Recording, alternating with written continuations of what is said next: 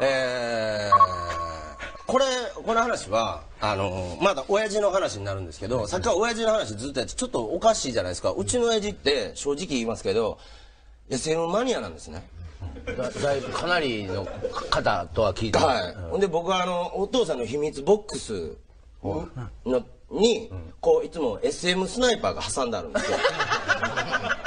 で、あったな SM スナイパーあってあったじゃないですか。なんか週刊か月刊誌みたいになっちゃうの、はい。ほんで、こう、パカって開けて、それをこう、読もうとしたら封筒がポッと落ちたんですよ。で、何かなと思ったら、えっ、と、M の女、えー募集みたいなとこに、えーぼ私は京都の太郎と言います。船を持っています。その中でいろんなプレーをしてみませんか？みたいなことを書いてあったんですよ。僕、小学校の時に何かわからなくて、これ何やお父さん思って、まあ、そんな感じの親父なんですね。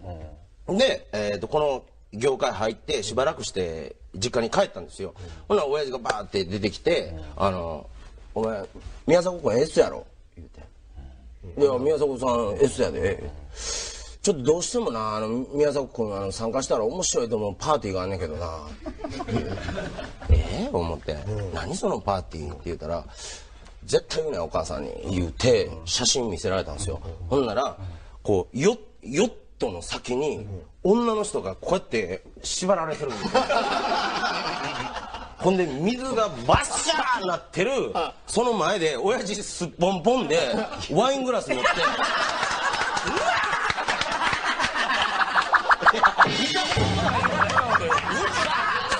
はひどいわ。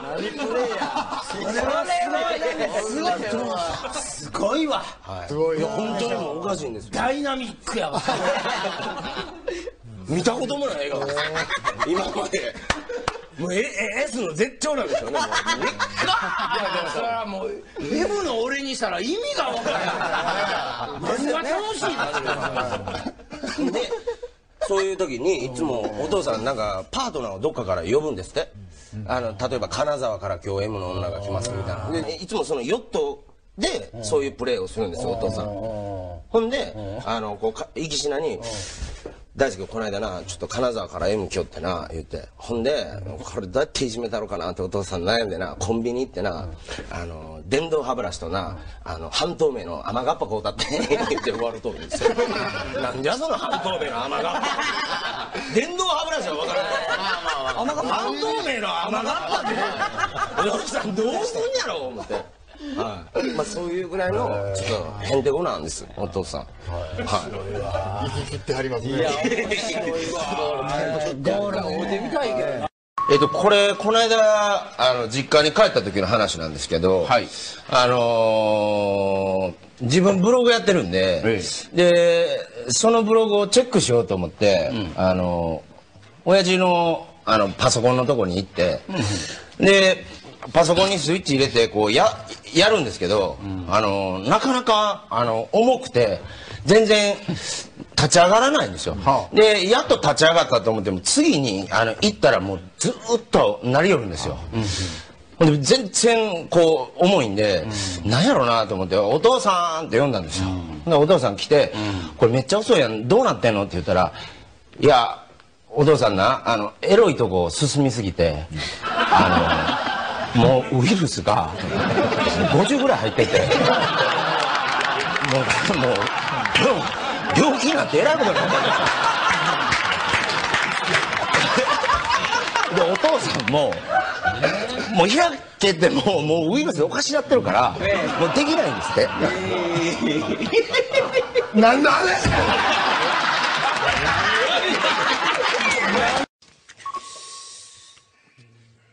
これね、えっとね、これ面白いですよ、次。あのね、この間、あの、お風呂屋さんに行ったんですよ。ね。で、お風呂屋さん行ったら、あの、兄弟のね、小学生の、まあ、あの、兄弟が、お風呂にずっと入って遊んでたんですよ。あの、湯船のとこでね、ずーっとキャッキャキャッキャ言って。で、僕とそれのお父さんと、まあおじいちゃん一人と、まあ5人ぐらいやったんですよ。うん。で、まあ僕もまあいろいろサウナ入ったりなんかいろいろしてたら、ずーっと入ってるんですよ。キャッキャキャッキャ遊んでるんですよ。ほんならもう、次サウナからあの上がったら、もうそのお父さんも上がって体拭いてはったんですよ。ね。ほんで、30分ぐらい経ってたんかな。ほんなら、ガラガラってやって、おい、もう行くぞって言うて。ほんで、兄弟がバーって遊んでて、ね。ほんで、そこに僕、サウナ上がったから、湯船に浸かりに行ったんですよ。で、ここに二人いたんですよ。ほんで、だいぶ入ってて、で、お父さんに呼ばれたから行こう思って二人が行って、2歩ぐらい歩いたら、弟のお尻から。で、僕それ見た時に、あ、湯船で何回かアナル開いたんやなと思って。こうつってね。で、水が入って、まだ子供やし遊んでて、またつってね、開いて、また水が入ってて、あ、それで今 出てしまったんやなと。茶色のお水がね。であ、茶色のお水出てると。じゃあ兄貴はどうやると。で、兄貴見たら、兄貴出てへんかったんですよ。あだから、あ、兄貴は、あの、湯船の中で、って開いて、あ、開かなかったんやなと。うん。だから出てないねんなって思ったっていう話です。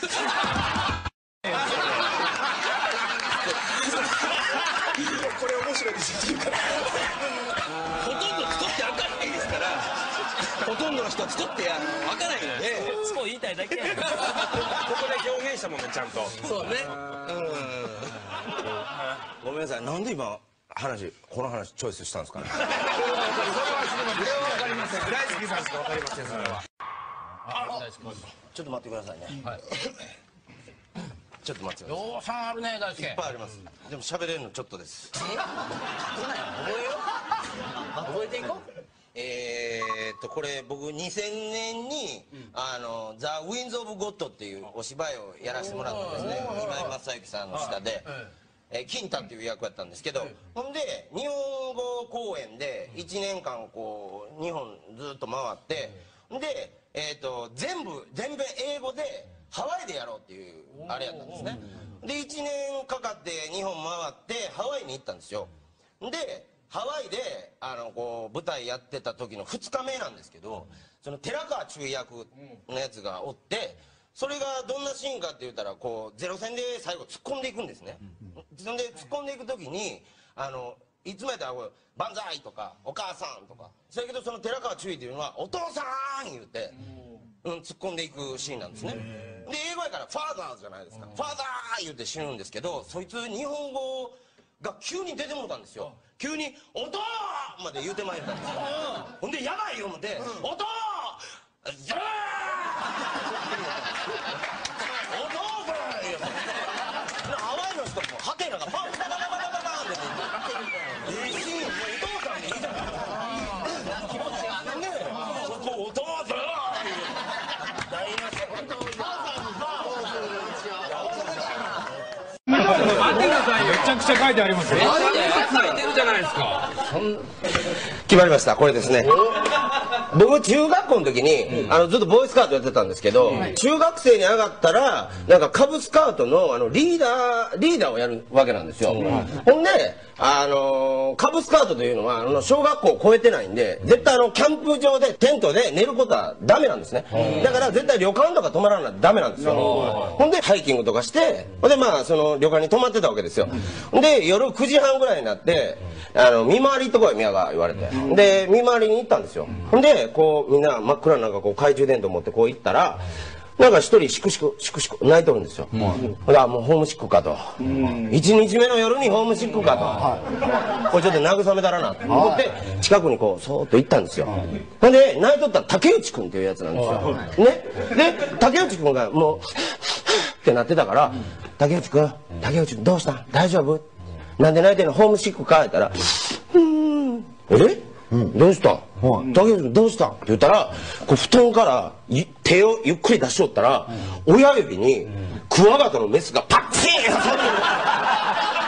ッチングーなって竹内君のここ白白なってる ほんで、え？って言って、どしたん竹内君って言ったら、あの、昼間のハイキングの時に見つけて、ポケットに入れといて、それを思い出して、今どうなってるかなんてやったら、ここに、こうなって、痛い痛い痛い痛い痛い痛い痛い言うて喋ってる時にまたメスグーッやりよったその瞬間にもその瞬間にもグーッやりよったんですよで大丈夫か言ったら「いやこれさっき捕まえて何でででかわいそうに。かわいそうにほんまにめちゃくちゃかわいそうでこれはね最悪ですようわもうええていやいや喜ばしいですよおお来るなしかし出ますねしかし出るなえーしちょっと待ってくださいねはいはいよしこれ見つけたみたいですよ。っしゃ行くぞこれ。よ。見つけた。えっとまた天然素材の時の話なんですけれども。多いですね今日。あのファンと行く。はい。えー沖縄旅行というのに。吉本ツアーズとか昔ありましたそもんね。うですそうです、はい。でそれに、えっと藤原とはい。チッパチャップスやったんですよ、でそれで沖縄に行ってで琉球村みたいなところに行ったんですよ、はい。ほんでそこにあの琉球馬いうか琉球馬がおったんですよ。はいはいはいあのちょっとあのー、な短足というちょかっと違うんですか？ちょっと違う。なんかちょっとごごつっとしててはい。毛もバーってなってて。で原西さんがえらいなんかこう馬好きでなんか「うわー琉球馬や!」言うて。でこうぐわー触ったりなんかここの毛うわーなぜたったりお尻のとこバーやってバーン叩いて「うい!」言うたり。ね。そういうことをやって遊んではったんですよほんでソーキそば食べよう言って、まあそのファンとの交流一通り終わってでお昼食べようソーキそば食べよう言ってほんでソーキそばをこう食べててほんなら原西さん汗かきやから熱いな言うて馬触った手でそのまま顔触ってまあソーキそば食べてたわけですよ。ほんでソーキそばの最後の一本トゥルって食べるぐらいにパッと見たら原西さんの顔がかぶれてきたんですよ。ちょっと肌弱いよほんでみるみるうちに腫れてきてなんかキャッチャーミットみたいな。ほんでこれやばいでめっちゃ腫れてますよキャッチャー馬馬馬にかぶれたんやで言うたら「いや馬なんかかぶれへん」と。でもどう考えたってこんなもん馬にかぶれてるやんって。いや馬なんかかぶれへん言うて。これどうする言うてちょっと氷もらおう言うてバー冷やして。でそれでも全然引かんと。ほんでそのままお昼の時間が終わってまたファンとの交流ですよ、はい。ほんでこれやばいなってもうちょっと病院行った方がいいんちゃいます言うたら「いやかまへんかまへん」言うて。でパッとその食堂出た時にファンの子がパッて来て「あの原西さん写真撮っていいですか?」って言われたら原西さん氷で押さえてんのに「うんいいよ」言うてそのキャッチャーミットの顔でパーンと写真撮って。撮らんでええやんっていう。もうこんななってんねんほんまに。学校なってんのに。断れ断れ。撮らんでええやんって話ねそもそもなんで原西さんそれ馬はかぶれへんって言い張ったんですか完全にそれ馬を愛するがゆえに馬びをっくりした。よ。初めな、やっぱこう汗拭くやん、こうやって。だその、拭いてるところが、言うたら、かぶれてくるのよ。こん こんなちっちゃい赤い点やのよ。それがな、でっかなってきてな、フランクフルトみたいなもんやねん。なあいや、あれは分かった。それでも馬のせいじゃないと。馬のせいじゃないです。俺のせい。です。俺の体調不良ですよ、あれは。まあまあまあまあ馬川に噛まれただけですぐな。そう。いやーそういう話なんですよ。すいません。どうもありがとうございました。じゃあ進んでいきますか。まだ当たってないのはひょうちゃん。はい。じゃあひょうちゃん出るように。あお願いします。いきますね。よっしゃ。えーひょうちゃん出るように。よいしょ。鍋。いきますよ。はい大輔はい。えー、っと、ちょっとお時間いただいてよろしいですか？小道具いきなり？いきなり。デカめのノートが。すいません。じゃあ来ません隠す気もないし。わかりました。はい。これ僕が、ええ。あの高校1年の時なんです。あの古典の先生で雨川先生いう人がやってそれがもうめちゃくちゃ怖いんです。ほんでもう鍛えてはるんですいつも。やりながら後ろにこうあの鍛えるやつやってはるぐらいの。あ握力の。握力はい。ほんでこうなんかこう書いてはるんですよね。でもすぐチョーク折れるんですよ。力強いから。でも怖いからまた折りよった思いながら僕は僕らはこう授業受けてなあかんわけですよ。でこうやってたらある日ねこうやってて書いててほんならその雨川先生が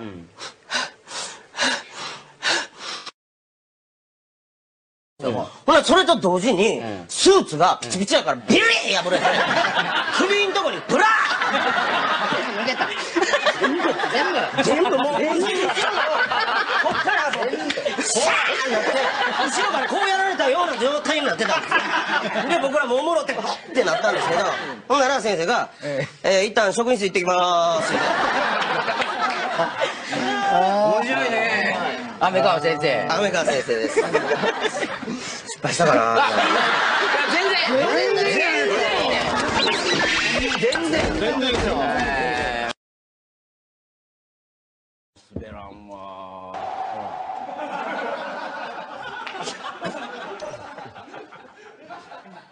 あのね、僕高校の高校時代の話なんですけど、あのクラスにジュリーっていうあだ名の変なやつがいたんですよ。ほんまに変なやつなんですよ、臭い臭いし、いっつもここ府警山盛りやし。ね、ほんでそいつがある日4時間目ぐらいに遅れて学校来よったんですよ、今麻酔効いてるから 何しても痛ないねん俺。ちょっと宮川殴ってみと「え殴っていいのジュリー」「いや殴っても構わへんよ」言うて「いやもっときつく」え構わへんの」バーン言うてほな「痛ないな。全然痛ないな。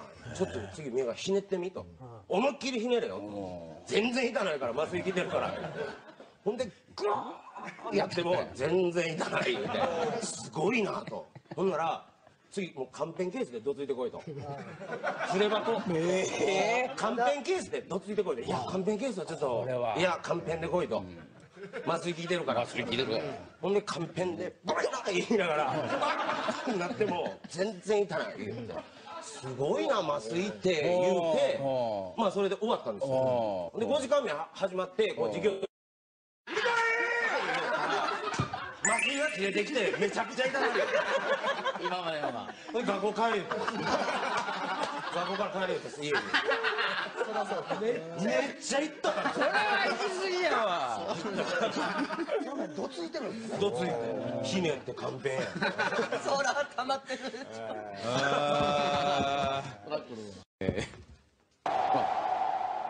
大輔。はい。これはあの僕が小学校6年ぐらいの話なんですけど、うちのお父さんと僕ではずっとボーイスカウトやってたんですね、ほん。で2人でキャンプ行こう言うて京都の山奥キャンプ行って、まあ一泊して、え帰ったんですよ。雨降ってきたんで、でなんかこう楽しかったなとか言うておとんとこう車で走ってたら、な前に車があの山に落ちかけてたんですよ。えらいこっちゃでやばいと。これ大輔助けるぞと、でお父さんとバー降りていって大丈夫です、言ってあの僕手伝いますから言って、ほんで大輔後ろ行けと、ほんでお父さん前押すから言って、一斉の腕でこれ行くぞ言ってすいません言って向こうの人も「いやんだ行きますよ」言って。行くよ言ってせーのウィウィウィウィウィウィウィウィウィ行くよ、はいせーのウィウィウィウィウィウィ言うて僕も後ろから押してたんですよ、ほんなら次の行くぞせーのウィウィウィあー言うたんですよ親父が。ほんで何やと思ってパッて見たら、親父のここから煙がブワー出てるんですよ、シューって、ほんでパッて見たら、あの前輪駆動やって前輪駆動のタイヤが前でキュルキュルキュルキュルなってて親父の膝そこにガーッつけてキュルキュルキュルなってうわー言うたら煙ブワー出て前輪駆動かい言うたんです言うといてくれよって言ってもうボロボロですわもボロボロえー、えー、おっちゃんやな、でもね。おっちゃんですけどかわいそうでしたかわいそうやな。ほんま。無視しといたらあんなことなれへんかったんやけどな。人がいいばっかりに。大輔。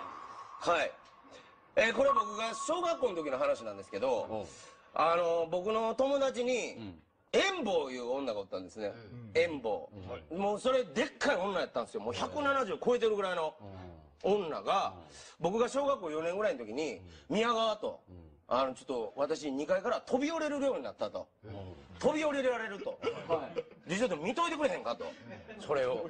ええ。でなんで俺やねん そうやな。じゃあ塩分を見せて言うてほな塩分上がっていきよったんですよ、でもここに見とったんですよね2階を。ほな塩分が「宮川行くで!」言うて、ほんでブワッ飛び降りよったんですよ、ここ高さね2階から、ほんならこうついた瞬間に膝で顎をペコン落ちよったんですよ。ペコンって言うたんですよ何やこれ大丈夫円盤言うてでパッて見たら血ブワー流してで舌バー見せたら舌が噛んでたんですよ。ほんで「大丈夫?」って言ったら「宮が失敗」言うてま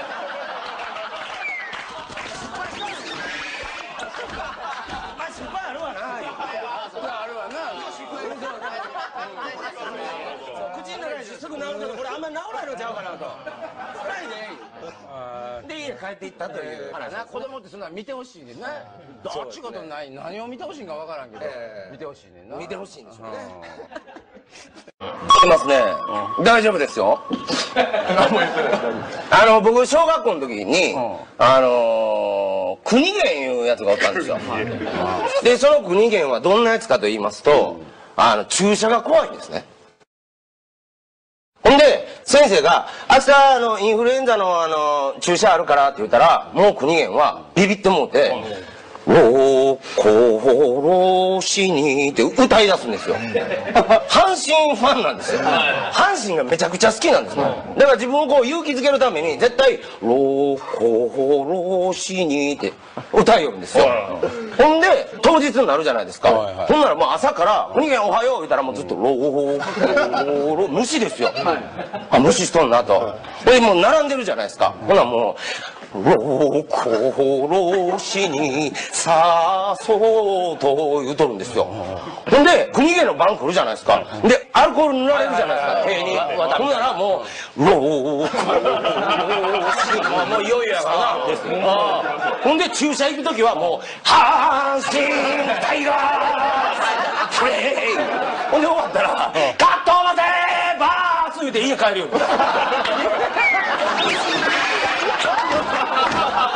国源すごいです最強は。い。やこれ僕中学校2年の時の球技大会の話なんですけど、あのぼえー、と1組と3組かなんかがやっててちょうど2対2ぐらいやったんですよ、ほんであここはあの勝たなあかんと。でもう時間ギリギリで、でラストチャンスやったんですよ、でそれがうちのクラスのコーナーキックやったんですよ、でこれ決めたらヒーローやなと、ね。ほんで俺頑張ろうとゴール前で追って、ほなええボールがバーン上がってきたんですよ、でよしこれ決めたらヒーローやと思ったら、黒沢君いうドンくさいやつが「ええ!」言うて「ええ!」言うてこっから入ってきてボールバーンってもうバーンよそ行って「痛い!」言うてボールバーンこう行ってもうてで「痛い!」言うとるからもう痛いやらへんねん今ボケ思ってほんでピッピーってなって同点でそれジャイケンやったんですよ PK のでもうムカつくなみたいなほんでずっと「痛い痛い!」言うとるから「もうええって」言うて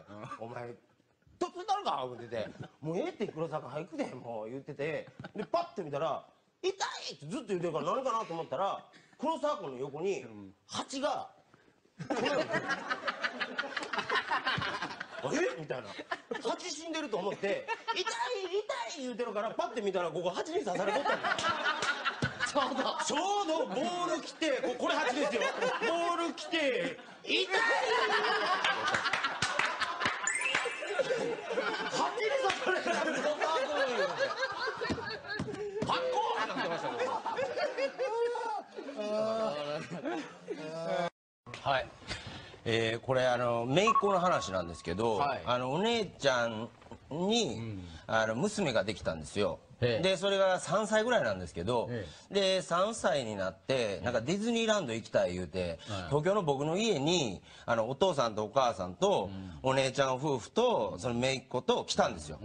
ほんで、あの初めてやったんですね。でちょっと僕のとこのリビングまあちょっと広いんですよ、でフローリングで、ほんならその姪っ子がものすごいこう嬉しなって「わー!」言うて走り回ったりして「危ないで危ないで」言うてね走り回ったりして、でフローリングやからバーン滑って頭ゴーン打って「うえー!」泣いたんですよ、で「ああ大丈夫か?」って「痛いの痛いの飛んでいけ」言うて、ほんなら「はあ飛んでいった」みたいなんで泣き止んだりとか「あほんとこれええな」言うてて、でもずーっとあ3日ぐらいいたんですけどなんかんようこけよるんですよ、ほんで痛いな痛いな飛んでいけで初めは泣き止んでたんですけど全然もうそれ聞かんようになったんですよ。飛んでいけって飛んでへん痛い痛い言うて、ほんならあのうちのお父さんおじいちゃんが「それおじいちゃんのあの口んとこほってき」言うて、おじいちゃん食べてあげるわ」言うて、でまたバーンなって「えー!」なってる時に「痛いな痛いのおじいちゃんの口飛んでいけ」言うて、ほなおじいちゃんが「あうん」言うて「えー、痛い痛い痛い痛い」言うて、ほなめいっ子は「わー!」言うて笑って「あらそれええな聞くな」言うてたんですよ。ほんで1ヶ月前ぐらいですかね。で僕あの休みができたんであの京都に帰ったんですよ、であのお父さんいるはずやったんですけど帰ったらいいひんかったんでお母さんに「あれお父さんどこ行ったん?」って言ったら「いやちょっとなんか体調悪なってあのちょっと病院行ってはんねん」ってなって。で検査して「今日結果出んねん」みたいな「あそうなんや」言うて。で姪っ子もいて姪っ子が「わ大ちゃん」言うて喜んでてあのテンション上がってたんですよ。で僕は遊んでたら親父が帰ってきて暗い顔で帰ってきて「お父さんどうしたん?」って言ったら「いやちょっと検査引っかかってもうてな。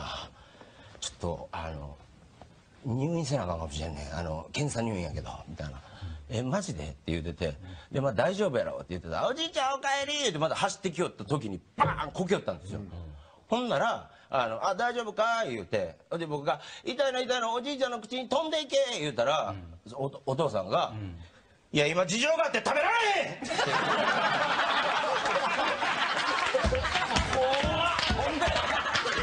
て今まで優しかったおじいちゃんに言われたから余計うえー言うて泣いていやお父さん今食べたったらええやん。全然関係ないやん。急に親父もなんか今までちょこちょこ食べてたもん。関係あるんかもな。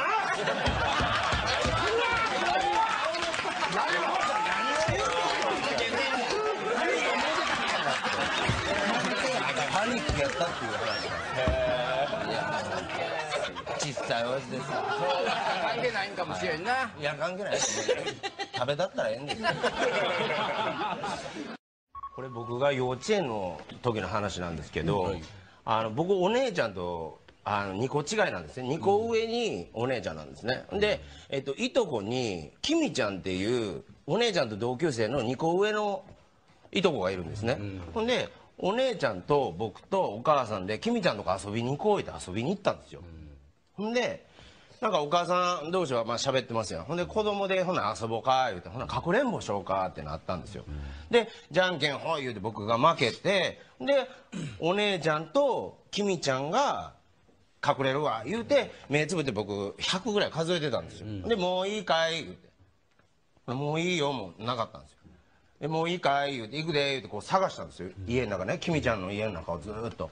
でもどこにもいなかったんですよでいい日なと思ってて奥の部屋をこう開けたら真っ暗やったんですよ。でこうカーテンが閉まってたんですけどカーテンがちょっとモコってなってたんですよ。であっこ隠れてんなと思ってそこのカーテンファッて開けたらお姉ちゃんがパンツずらしてこういう状態になってたんですよ。であれ？と思って「何してんの?」って言ったら「あのお尻の検査やで」って言うたんですよお姉ちゃん。ができみちゃんが見てるんですよ。先生になって「でお尻の検査やで」って隠れんぼちゃうのってお尻の検査？お尻の検査やで大輔も見てもらう？って言われたんですよ。でなんかわかんないですけど僕も見てもらう？ってなって。なんかその変な空気やったんですよ。それになんかこう僕も変な気持ちになって見てもらうって言って。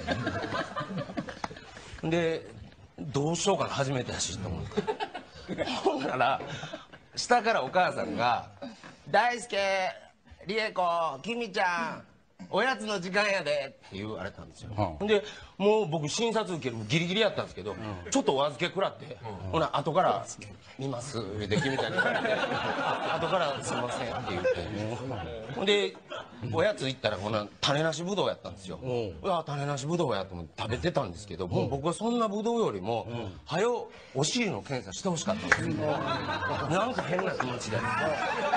いやしてほしい。なんかふわふわ。なんか ふがふがなって。ほんでもうで横に君ちゃんがそのねあの種なしぶどう食べてんねんけどもう僕はもう早よ食べてほしいし。で僕だけもうあのコーンみたいにバカバカ食べて。あの早よ行こうあ あの食べ方あるのまだなんかみんなで仲良く喋ってて、ほんでもう我慢できんようになって君ちゃんに「すいません早くお尻の検査してください」敬語なほら。わかりましたでまあずっと食べてて。でまあ食べ終わって。ほな「もうごちそうさま」言うて。でもうお姉ちゃんとその君ちゃんの顔見たらもう行こうみたいな。ほなまだかくれんぼしょ言うてでもう僕はバーって隠れたあのカーテンの中シュッと入ってたんですよ。ほんなら君ちゃんが来て「じゃあお尻の検査しましょう」って言って「はいお願いします」って言って。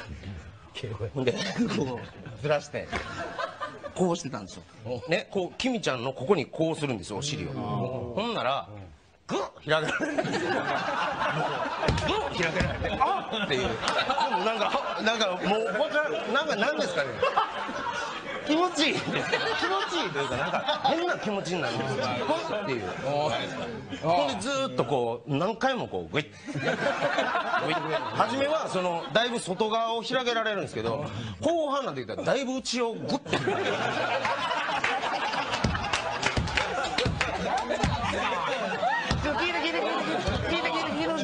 でグッてやられてわってふかってなったら「お薬塗っときましょう」って言われて。なんか僕なんか分かんないでしょ僕はこうあなんやろうって思ってたら冷たいもんがペトってお尻の穴にペトってついたんですよ。ついたであっと思ったらパンツ上げてくださいって言われたんですよ。でパンツ上げたんですよ。で治療終わりですって言って。あ終わった。お尻の検査ってこんな感じなんやと思って。ほなお母さんが「もう帰るで」ってなったんですよ。しばらくしてからですね。ほんでか帰ろう思って。で車の後ろにお姉ちゃんと僕乗っててお母さん運転席で。ね。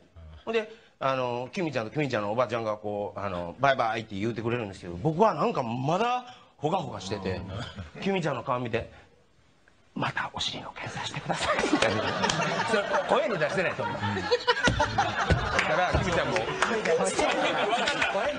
わんのけそれはい、こっちで伝わったんですよ。ほんで、バーって家帰って、ああおかしい。えっと、僕あの ABC 漫才コンクールっていうのに、あの、元、あ、相方のほっしゃんと、あの、チュパチャップスで出る、その前夜ですね、ほっしゃんの家で、あの、ネタ合わせしてたんですね。で、ネタ合わせ終わって、で、ほっしゃんが、あの、先、あの、シャワー浴びて、ほん。で、次、大輔入り、言うて、僕入ったんですね。で、出てきたらもうほっしゃん、あの、寝てたんですよ。で、あ、ほっしゃん寝てるなと思って、で、寝顔見たらちょっとこう、苦しそうな顔してたんですよ。で、こう、手パッてやったら、こう、ここ、こう、お祈りした感じで寝とったんですよ。ほんで、ああ、なんや、明日優勝したいねんなと思って、ほっしゃん頑張ろうなって思ってたら、なんかちょっと、たまらん気分になってきまして、僕、あの、ほっしゃんにあの、キスしたんですよ。いや、あの、もうね、いや、あんねんな、もうね、あのー、なんかか、なんか、わかるやろ、これ、コンビやったら。い。いやいやいやいやいやいや、なんかね、もうなんか、愛おしいなってきたんですよ。愛くるしいみたいな。ほんで、かわい、なんか、たまらんようになって、星さんにキスしたんですよ。後日談で、それあれやったんですよ。星さん実は気づいてたんですって。こう寝ててうっすら寝てたら僕がキスしたえキスしてきたことを気づいてたんですけどもどうしようもなかったんですって、ほんで「何してんやろ大輔」と思って。ほんで息も息も荒くなってきたんで星ちゃんはもう言うに言えんようになってで次の日のあの ABC のあの決勝の時に変な感じでネタも噛み合わんようになって。正直賞取れへんかった。んです変な感じで。なんか意識しちゃっても。意識しちゃってた。んですよ、ええ。まあその話はちょっとあったんですけど、僕もう一個ありまして天然素材の時に、あの天然素材というグループをやってたね。グループをやっていた時にそうです。やってた時にこう、宮迫さんとこう集団コントみたいなのすることになりましてであの俺の家でちょっと合わそういうことになりましてで宮迫さんの家へ行ったんですねで宮迫さんとそのネタを合わせててでまあこれでええんちゃうか言って終わったんですよ、で僕こうあの本あの布団の上でこう本読んでたら、宮迫さん寝てしまはったんですよ、でその時あのクーラーがない部屋で扇風機だけであのブリーフ一丁で上裸で寝てはったんですね、で僕なんかこうあ宮迫さん寝はったと思って。ね？あ宮迫さん。お寝はった。寝はった。ほんでで本は読んでたんですけどもう全然漫画がだんだん頭に入ってこない。宮迫さんが気になりだした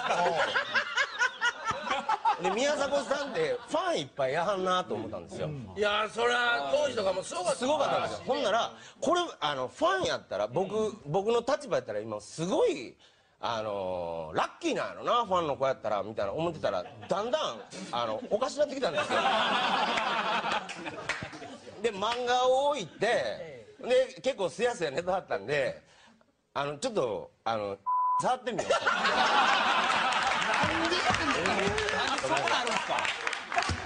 でもそれはあのお,、ね、おおお姉ちゃんのあのおっぱいの法則ですよ。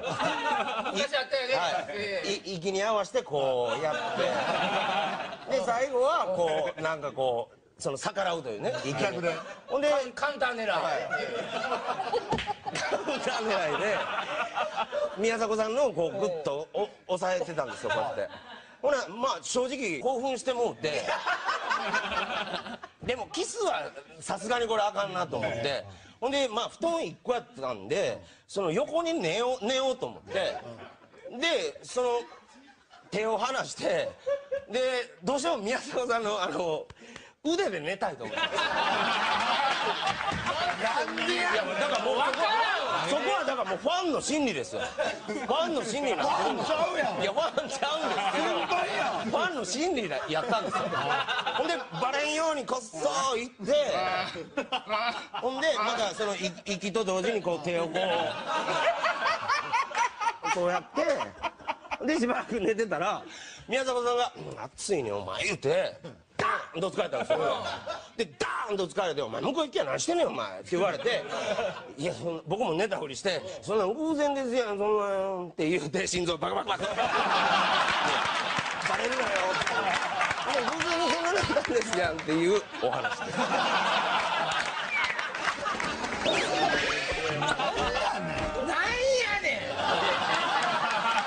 正直あなんか若い時グラグラグラグラしてたほんまにもうグラグラグラグラ俺ギリこっち来ただけで。グラグラの状況今はそんなことないですよ。でもその時はもうグラグラしてたんで。やっぱりその性に対して異常ななんかあの興味があるよね。興味ありますね。大輔は。はい。おかしいグラグラグラグラしててすいません本当に。あ初めて言ったんですけど。あ疲れた。疲れたわもう。これは、えっと、20年以上前の話なんですけど僕らあの天然素材ってやっててで僕らで番組やってたんですよ。でその時になんかずっとあのスタジオとかじゃなくてロケやったんですね。でロケでなんか内容忘れましたけどあの猿山の中にあのルパン三世らが行くみたいなコントやったんですよ。ほん。でルパン三世が、まあ、ヘビイチゴの高橋っていうやつがルパン三世になっててで僕が多分五右衛門やったんですよ。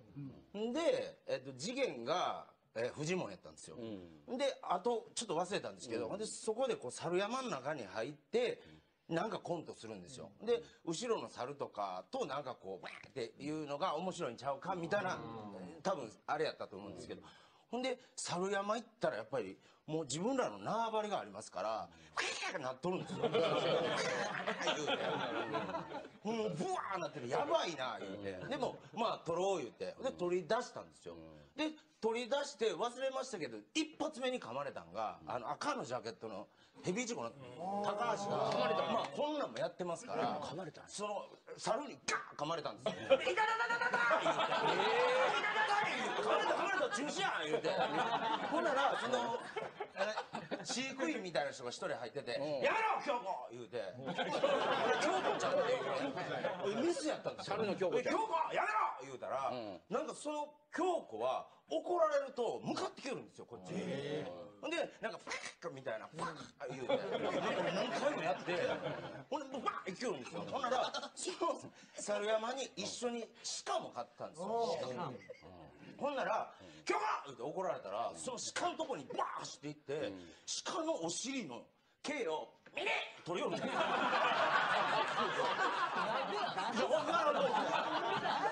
鹿のとこにバーッ行ってミリッ取りよるんで取れるんや置いて鹿もミリッ取られるんですよ。で取られたらなんかゾワってして終わるんですよ鹿。もっと明確な表現ないんか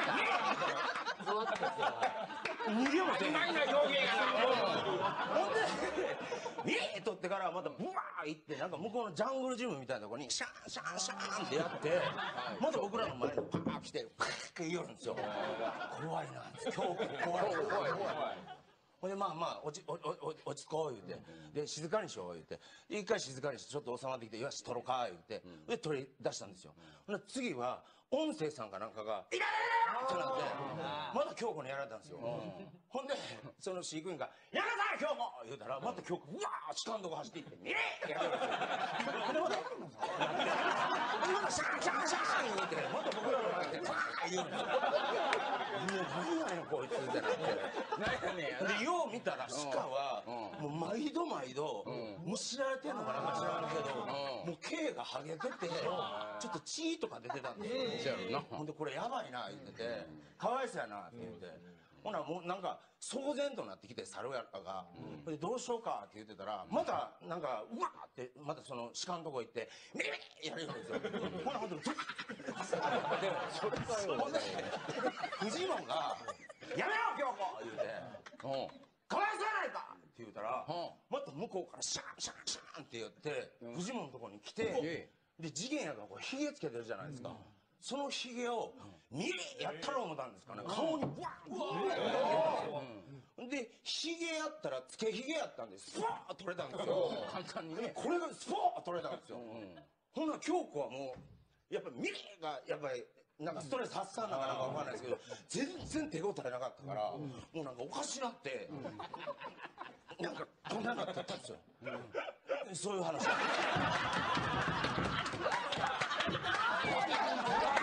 んかそんな気はしたけどこれタイトル何なんですか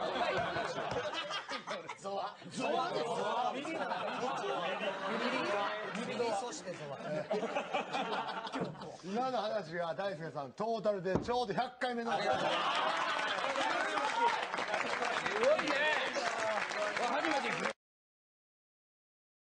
あの先ほどあの松本様も言われたあの三松さんの話なんですけど、はい。あの前にも言うたんですけどあの大井龍馬というのを一緒にやろうということになりまして、で僕嫌やったんですよ初め、そうやのに「いや僕本気でやるから」って自分のあの劇団を立ち上げたいから言って、であの大輔力貸してくれって言って。で俺が龍馬をやるからお前中岡慎太郎でやってくれっていう、なんかそんなんがあって、ほんで、分かりましたって引き受けたんですよ。ほんで、じゃあ、大輔、あの、京都一緒に行こうと、俺お金全部出すから。で、京都行って、あの、その、龍馬と中岡が回ったとこを回っていって、ちょっと気持ちを高めようと。そういうことで行ったんですよ。で、あの、行きしの新幹線で、あの、大輔、つって、あの、これ、俺ちょっと買ってきたんだと。で、それがペンダントやったんですよ。で、ちょっとした鎖の、この辺に、あの、竜って書いてある、ペンダントを買って、で、これいいだろうっつって、全然用ないんですよ。そんなに良くない。あ、でもまあまあ、で思いあるんですね。でこれで俺頑張るから、って言って、頼むな。真剣にやろうな。わかりました。で、で京都着いて。ほんで、まずどこ行きます？って言ったら、まずお墓に行こうと。と坂本龍馬と中岡慎太郎一緒に眠ってはるから、そこ行こう言って。じゃあ分かりました言って行ったんですよ。で、行って、ほな、こう、お墓に、そのネックレスを取って、こう、置いて、龍馬さん、今度、大輔の舞台やります。みたいな。力貸してください。みたいな、やってるんですよ。で、それつけて、ここに龍馬さんがいると。じゃあいろんなとこ回ろうかっていう。で、じゃあ、あの、なんか遭難の地みたいなのがありますから、そこ行きましょうかって。僕もあんまり知らんかったんで、こう本持ちながら行きましょうよ。で、行って。で、行って僕が説明してて、その近くになったら、あの、三松さん？いい、いいんですよ。で、あれ、三松さんどこ行ったんかなと思ったら、おい、大輔。こんなとこ風俗あるぞ。は？いや、風俗ってまだ2時ですよ。いや、こんなとこにあったのか、今日。いやいや、ちょっと、三松さん。いや、もう嫌や、初めからこんなの嫌や。頼むわ。本気でやりましょうよ。ここも。あ、すまん、すまん、すまで、じゃあ行きましょう。もう風俗いいですよ。で、これ、ソーラーの地らしいですよ。ほな、ちょっと写真撮ろうよ。で、写真なんかわかんないですけど、撮って。で、竜いうのも見せて。ほんで、撮って。で、次のなんかまた、ここに隠れてたスヤみたいなのがあるらしいですよ。じゃあそこ行こうよ。言って。で、行ってて、またいいんですよ。ほんで、何やろうと思ったら、ここに回るのか、風俗。いや、もう腹立ってきた。いや、真面目にやるって言うてたやん。ほんで、いや、ちょっと、三松さん、ほんま、ひどいですよ。って言って。真剣にやるよ。だから僕、お芝居をね、やろう思って。ほんで、それも、なんか、もう全然嫌や、言うて。なんか本気さが伝わってこうへんって言ったら、龍馬もセックスぐらいするだろうが。逆切れやん。いや、セックスするよ。龍馬もセックスするよ。でも龍馬ももっと夜やと思う。早いやん、そんなん。ずっとやん、京都着いてからずっと村に来てる。もうやめて、そんなことって。なんだお前って言って。バーンどつかれたんですよ。えほいでバーンどつかれて、なんでどつかれなあかんねん。俺正しいですよ。や、お前言ってることなんか違う言って、またバーンと疲れて、またバーンと疲れたから、俺何が龍馬や言うて、俺、俺そのネックレス、バッチーンちぎって、バーンやってあったんですよ。何やってるんだ、お前龍馬のメンバー言うて走っていって、急にガー泣き出して、鼻だー垂れて、やめろこれはお前。俺を叩くのはいい言うて。龍馬のこれは切るなって言われて。ね。で、まあ僕はやっぱ先輩のね、大事にしてたね、やつを切ってもらったらすいませんって言って。で、まあそれでまあ終わって、あ舞台始まったんですよ。でも、なんずっとつけてるんですよ。それも直して。うんでも、毎日ね、舞台で何かやらかすんですよ。なんか、あの、絶対にこう、お客さんがあ冷めるような、そんな言葉って言うたらあかんでしょ？なんかその時代劇やのに、テレビのなんか挟んでみたりとか、いや、ちょっとそこを笑かすためになんかやったりとか、時代がむちゃくちゃなって。ほんで、あの、うん演出家に怒られるじゃないですか。美松ちゃん何やってんだよって言って。なんだよあれしょうもないって言って。ほんならもう、なんか、パパコンなるんですよ。なんかもう、パコンすねよるんですよ。ほんで打ち上げ行っても一言も喋らんとなんかパコンなってるから、いやもういつまでパコンなってんのもうそれ怒られるやんかって言うからなんでお前そやらなくちゃいけないお前表出ろみたいな。表出たるわ言ったらまたバーンと疲れて。で、俺もまた何が龍馬じゃねえまたこれ俺も口ひって、シャーってやって、やめろお前これ。でもう何回もそれがあったんですよ。で、あれからもその龍馬いうネックレス専用になったんですよ。多分ちぎられるから。ほんで、まあ、無事に舞台終わって、じゃあ最後に、この格好で、あの、舞台の上にバッと並んで、みんなで写真撮ろうって言って。で、皆さん真ん中でいろいろありましたけど、ありがとうございました。お疲れ様でした。写真撮りましょうって言って、お撮ろうっつって。あ、ちょっと待ってっつって。あの、龍馬の、あの、ネックレスちょっと取ってくれから言って、楽屋行って、つけて帰ってきたんですよ。で初めここぐらいまであったんが、もう今、超過ぐらいまで。こんなのって、竜っていうやつが、喉仏で喋る、喋るたんびにこう、ペコペコ、ペコペコってやってて、もう切るなよ。次はねえぞ。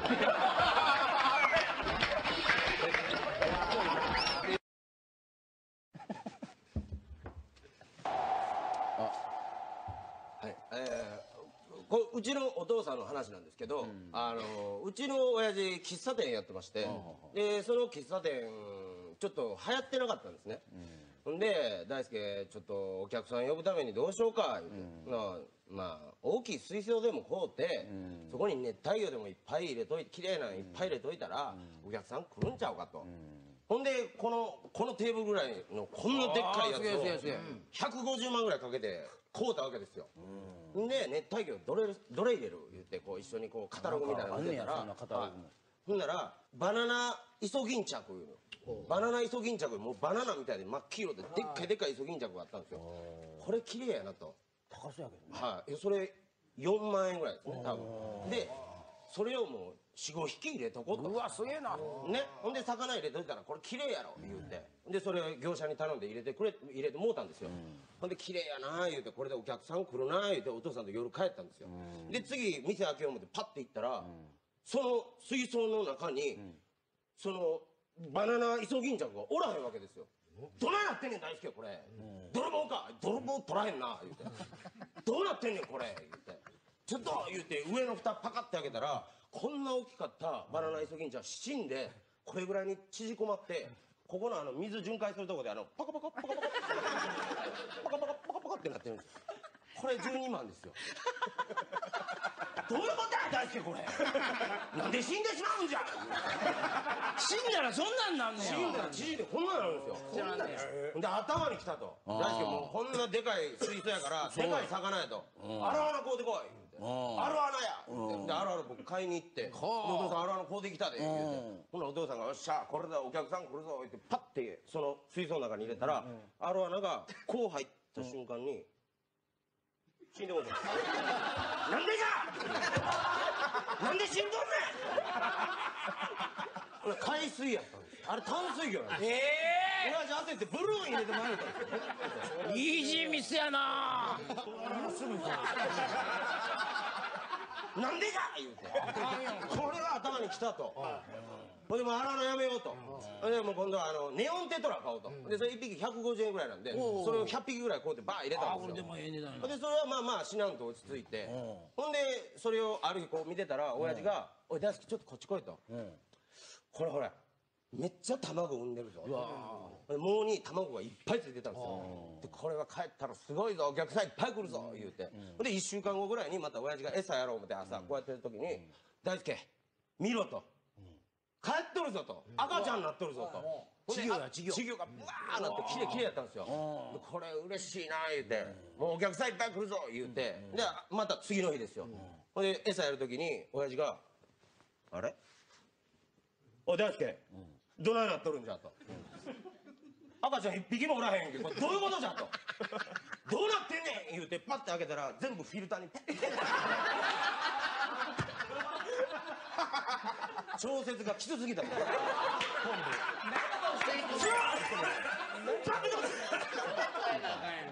ほんでそれでもうそれでやめたんです。で店は正直潰れてもうたんですよ。あの潰れる間際のコーヒー一杯何杯やったっけ？850円。ですえっとこれ5年ぐらい前の話なんですけど、あのルミネ座吉本で新喜劇に出てた時の話でその時は板尾藩に出てたんですよ。板尾さん。はい。で板尾さんの班でやっててほんで芝居をやってたんですよ、ほんなら一人前のあの列のお客さんがなんか気分がなんか悪くなりはってなんかバタッと倒れはったんですよ。ほんであっと僕目に入ってたんですけどそんなん初めてやったからどう対処していいかわからなかったんですよ。であどうしようと。これお芝居続けやななみたいなんでお芝居続けてたらその時の座長の板尾さんが「あかんあかん」言うて「もうダメともうあかん倒れてはる」言うてそのまま下に降りてその女の人のとこに「大丈夫ですか?」って行きはったんですよ。で僕すごいうわスマートやなと思ってかっこええなと思ってほんで僕もスッと降りていってで「どうしましょう?」って言ったらあのー板尾さんが「おいちょ救急車呼べ!」言うて「分かりました」って救急車呼んでほんでこうやってはったんですよ。で「兄さんどうしましょう？なんかなんかタオルとか持ってきたらいいんですかね?」とか言ったらなんか「いやこういう時な大輔力入ってるからな。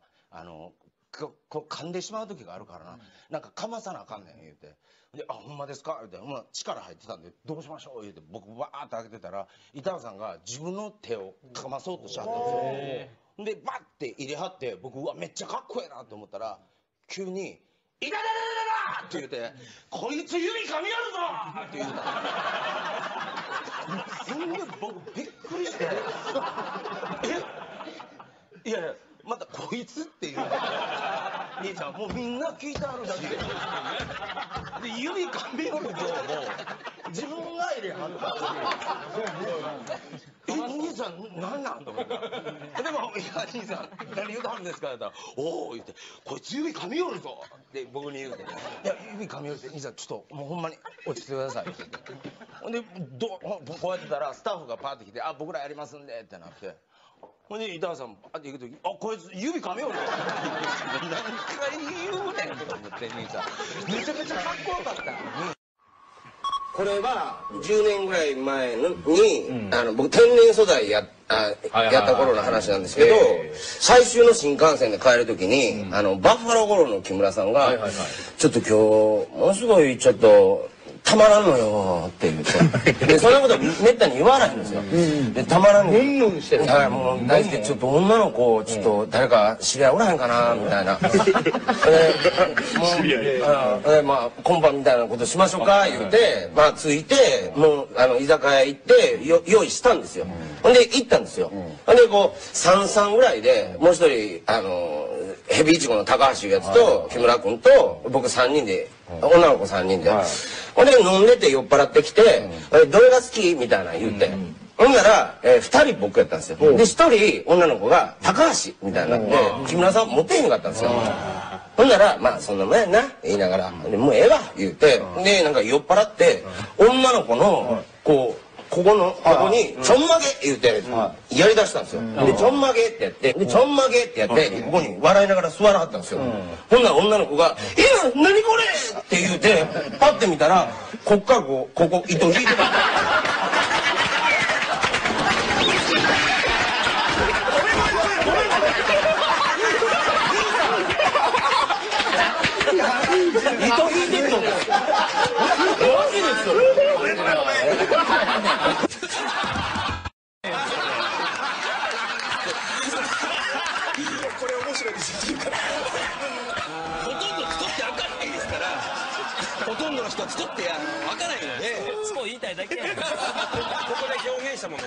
そうね。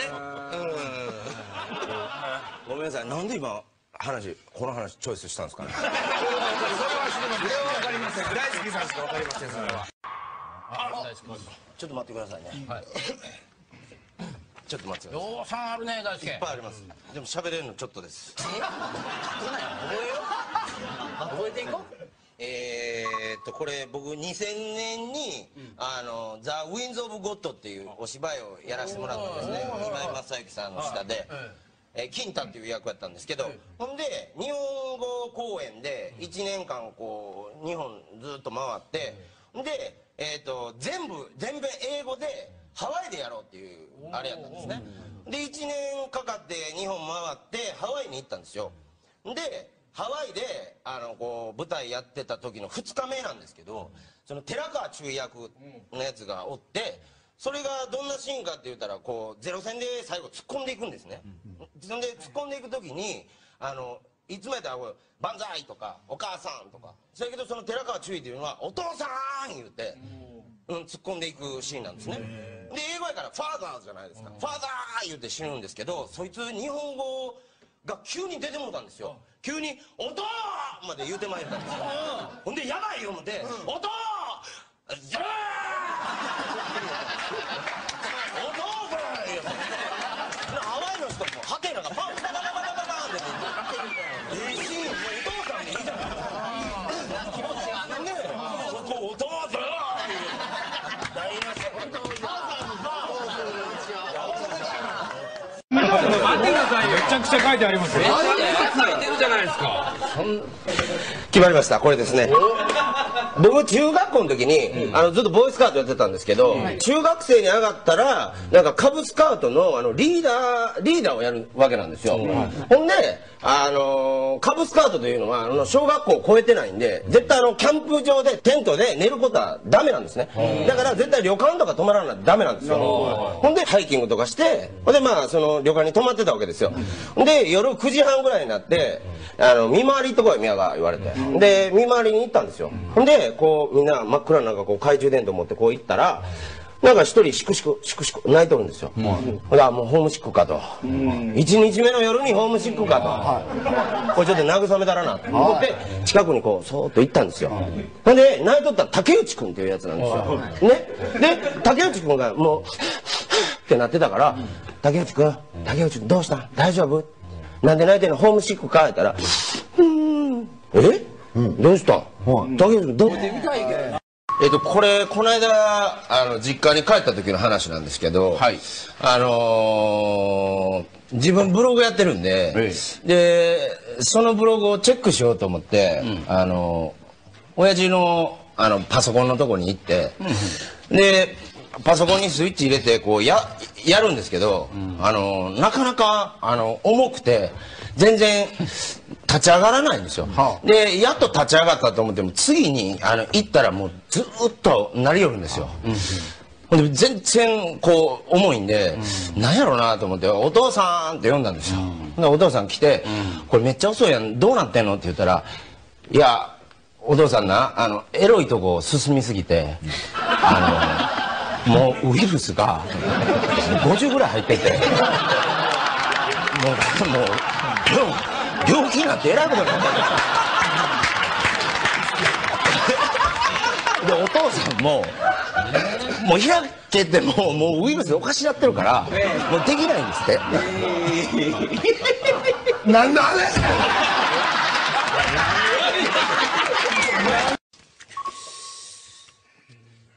これね、えっとね、これ面白いですよ、次。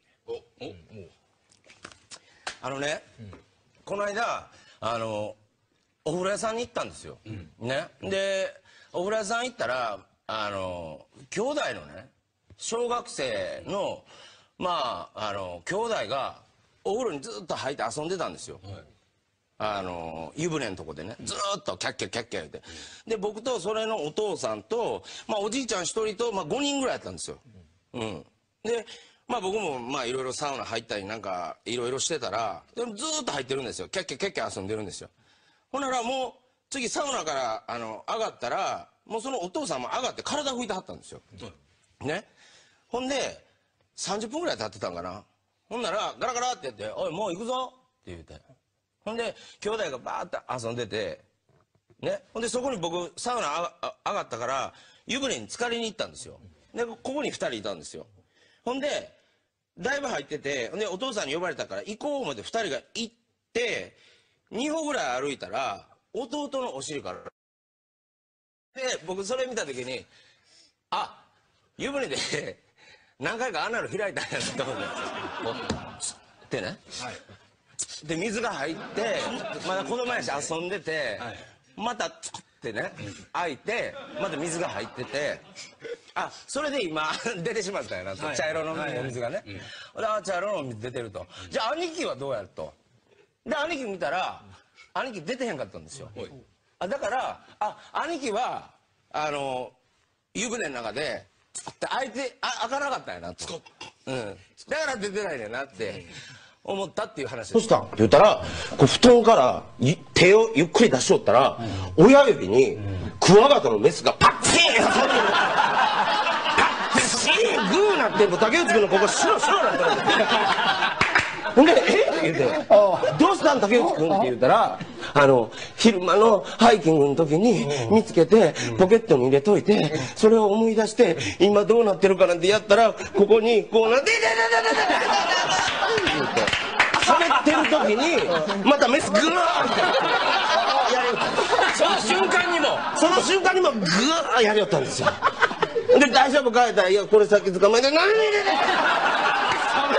たいなかわいそうにかわいそうにいやかわいそうにさほんまにめちゃくちゃかわいそうにこれはね最悪ですよ。うわもうええて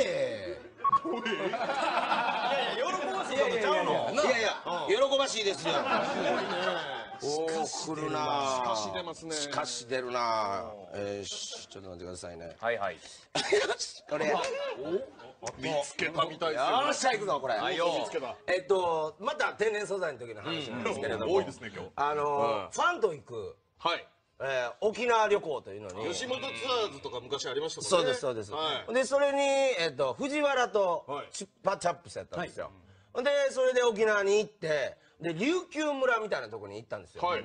ほんでそこにあの琉球馬いうか琉球馬がおったんですよ。はいはいはいあのちょっとあのー、なん短足というちょかっと違うんですか？ちょっと違ううなんかちょっとごごつっとしててはい。毛もバーってなってて。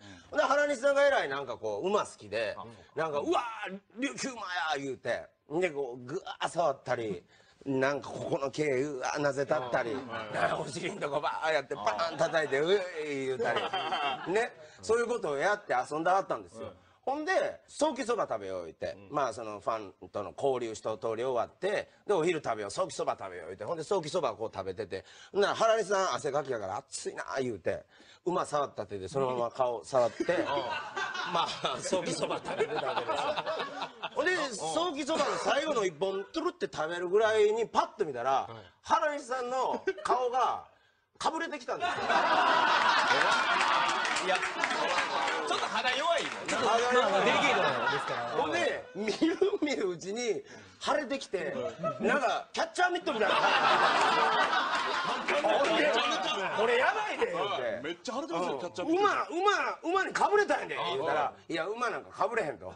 でもどう考えたってこんなもん馬にかぶれてるやん。って言うそうそうそう。いや馬なんかかぶれへん言うてこれどうする？言うてちょっと氷もらおう言うてバー冷やして。でそれでも全然引かんと。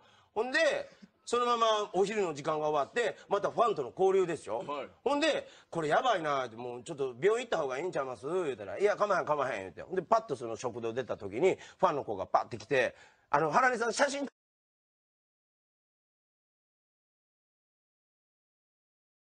え？ー、これこの話はあのまだ親父の話になるんですけどさっきから親父の話ずっとやってちょっとおかしいじゃないですか。うちの親父って正直言いますけど SM マニアなんですね。だだいぶかなりの方とは聞いてはい、ほんで僕はあのお父さんの秘密ボックスのにこういつも SM スナイパーが挟んであるんですよ であったな SM スナイパーって。あったじゃないですか。なんか週刊か月刊誌みたいなのちゃうの、はい、ほんでこうパカって開けてそれをこう読もうとしたら封筒がポッと落ちたんですよ、で何かなと思ったら、えっ、と M の女えー募集みたいなとこに、えーぼ私は京都の太郎と言います。船を持っています、その中でいろんなプレーをしてみませんか？みたいなことを書いてあったんですよ。僕小学校の時に何か分からなくてこれ何やお父さん思って。まあそんな感じの親父なんですね。で、えー、とこの業界入ってしばらくして実家に帰ったんですよ。ほな親父がバーって出てきて「あのお前宮迫君 S やろ」言うて「いや宮迫さん S やで」ちょっとどうしてもなあの宮迫君あの参加したら面白いと思うパーティーがあんねんけどな。ええ？思って、何そのパーティーって言うたら絶対言うなよお母さんに言うて写真見せられたんですよ、ほんならこうヨヨットの先に女の人がこうやって縛られてるんですよ。ほんで水がバッシャーなってるその前で親父すっぽんぽんでワイングラス持って。それはひどいわ。すごい。わ。すごい。な本当にもうおかしいんですよ。ダイナミックやわ。見たこともない映画です。今までもうええ S の絶頂なんですよねもう。いやでもそれはもう M の俺にしたら意味が分からん。何が楽しい。のでそういう時にいつもお父さんなんかパートナーをどっかから呼ぶんですって。あの例えば金沢から今日 M の女が来ますみたいな。でいつもそのヨットでそういうプレーをするんですよお父さん。ほんであのこうか行きしなに大輔君この間なちょっと金沢から M 来よってな言って。ほんでこれどうやっていじめたろうかなってお父さん悩んでなコンビニ行ってなあの電動歯ブラシとなあの半透明の雨がっぱこうだって言って終わると思うんですよ。なんじゃその半透明の雨がっぱ。電動歯ブラシは分からない半透明の雨がっぱって。お父さんどうすんやろ思ってはい。まあそういうぐらいの、ちょっと、へんてこなんです、お父さん。は息切ってはりますね。ゴール持っていいですかって言われたら、話は氷で押さえてんのに、うん、いいよ言って、そのキャッチャーミットの顔でパーンって写真撮らんでええやんっていう。もうこんななってんねん、ほんまに。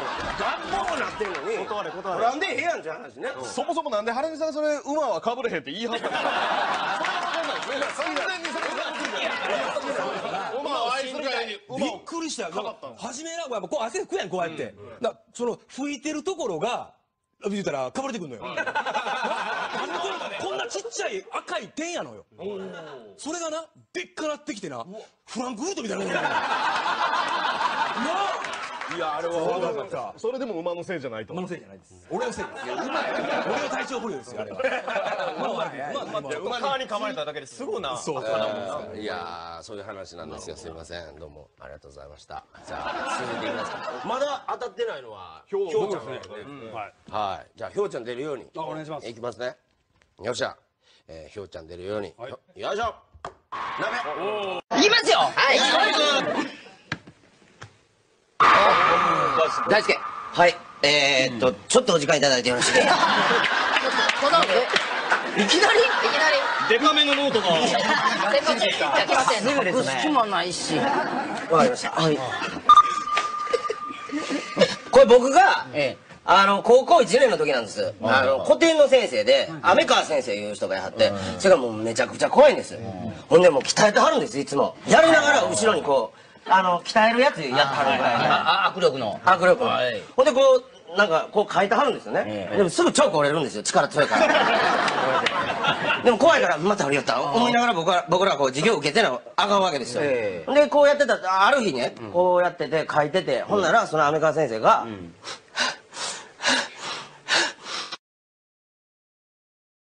ほなそれと同時に、スーツがピチピチやからビリー破れて、首んとこにブラー抜けた全部。全部。全部もう、こっからこう、シャーってなって、後ろからこうやられたような状態になってたんですよ。で、僕らもおもろって、パッってなったんですけど、ほんなら先生が、えー、一旦職員室行ってきまーす。